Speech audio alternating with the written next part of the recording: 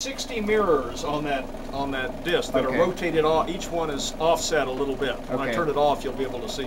And- There's 60 lines this way and probably twice that. And well, it's hard to tell. It The resolution in this direction is determined by the width of the light bar. It's like a pencil. It's a very narrow beam of all three colors. Okay. Um, that are and each one is modulated by you know its video signal. One is you can look at the disc.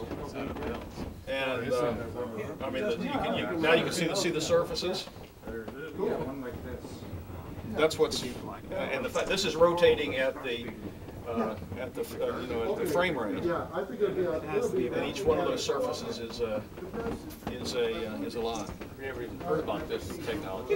And then if you look at this, you'll see there's a slit about, you know, a sixteenth of an inch wide, and the LEDs are inside there, and with um, mirrors on either side to concentrate more light toward the slit, and that's what produces the.